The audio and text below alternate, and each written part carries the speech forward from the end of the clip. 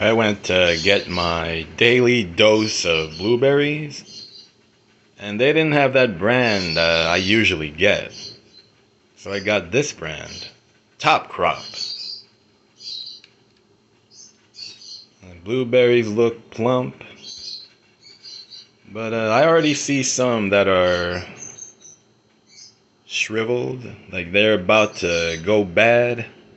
Uh, that one in particular so I'm sure I'll find some other ones, but I had no choice but to get this. I needed my daily blueberry fix. And uh, yeah, I had to settle today.